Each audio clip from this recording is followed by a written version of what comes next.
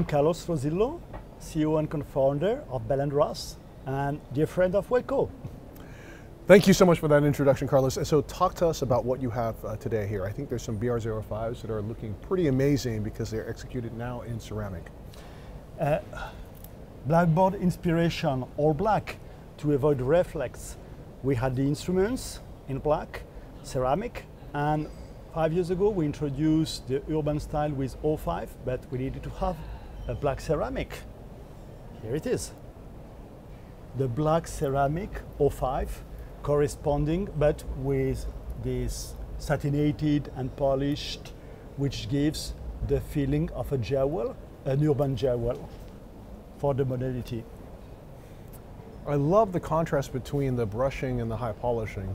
You know, it's funny, the only other brand that I see that has treated ceramic in this way is Audemars Piguet. Yeah, you're right. Yeah. And eventually Chanel in the women's field. Yes. But you have to make that it looks a jewel, you need to work on the the way you treat the, the ceramic, which is fantastic, with the brilliance not too shiny, polished and satinated. And the combination is not easy to make it, but when you realize you have this feeling of a jewel of strength. Absolutely. Let's take a look at that. It's nice because it's a ceramic watch, but it's like everything from how we expected an all black watch, which is usually just black, matte on black on black on black. You've got some really beautiful vertical yes. brushing here, then you've got high polishing for the center links, for the bevels, and then you've got a black sunray finish dial. So actually, even though it's all black, the amount of luminosity you get, the amount of reflections of light, the contrast is really significant. Tell me, why all these details, sir? I cannot tell. You get it all at the first glance. I mean, no, no, you're, you're absolutely right.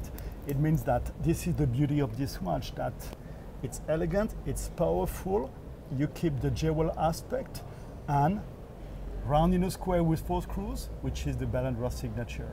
Uh, it was the missing link between the instrument and the urban style of the collection of uh, 05.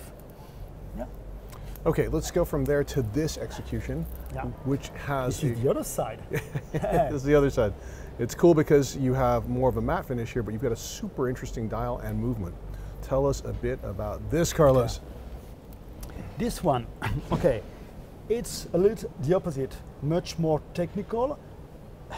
The matte finish and the, the skeleton aspect to show the movement, the beauty of the movement, but also the luminescence. Luminescence is a long story.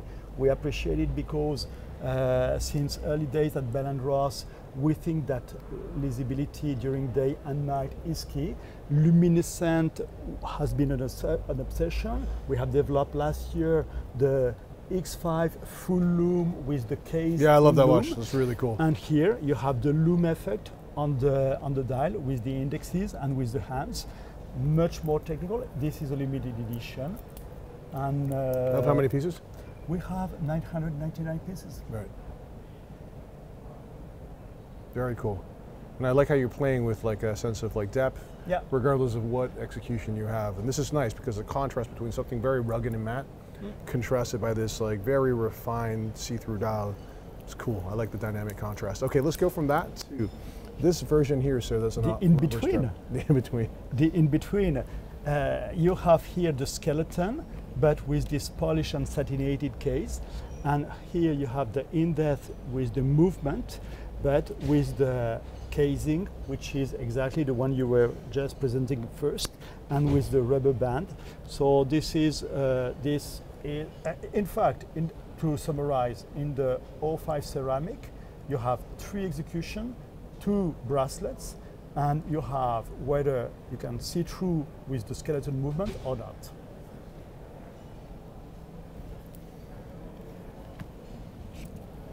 Hmm.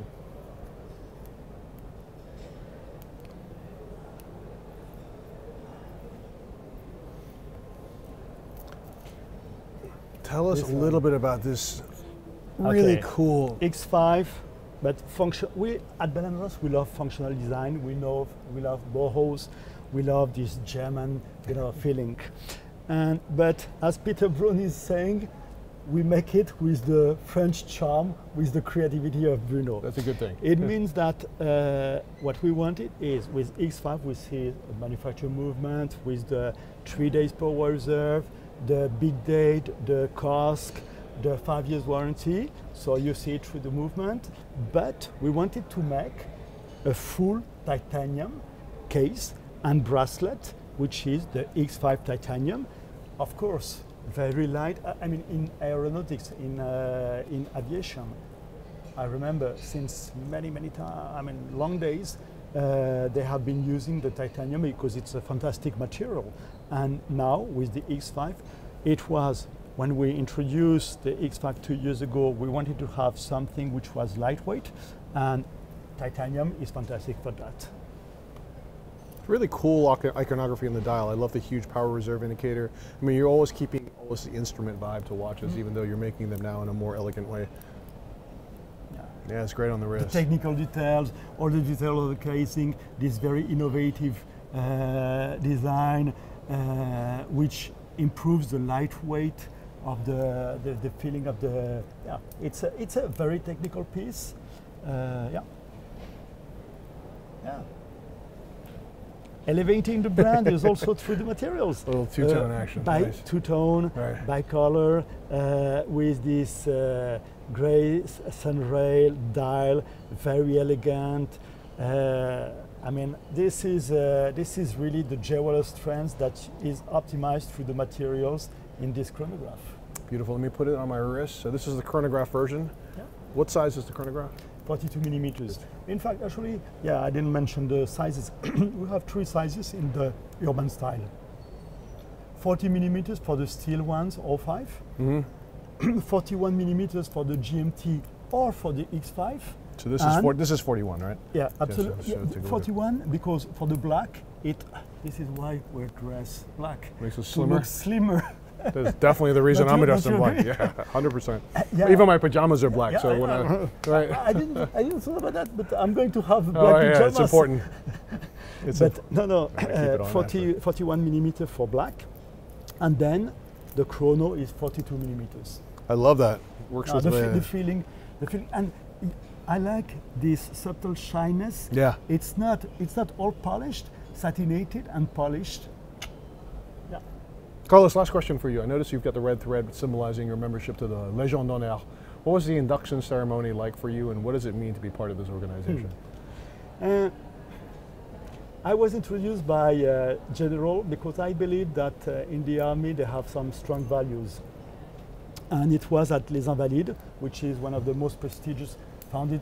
Uh, uh, Légion d'honneur was created by Napoleon Bonaparte, and Napoleon Bonaparte is buried in Les Invalides. So it was the most emblematic place to receive the Légion d'honneur by the commander who commands, who used to command Les Invalides, and who is now the commander of l'Ordre de la Libération, who was created by Charles de Gaulle. So I was really blessed. And when they knighted me, uh, I think they transmitted me some values, which Nice. is to have strong values, to believe in it, to stay focused to that, and and yeah, it's a beautiful emblem, and this is why I'm wearing those sunglasses to match my Légion d'honneur I love it. Yeah, black and red. Got to do it. because we, we love fashion, so We do love need fashion. to make this this kind A of little trick. twist. Exactly. Yeah.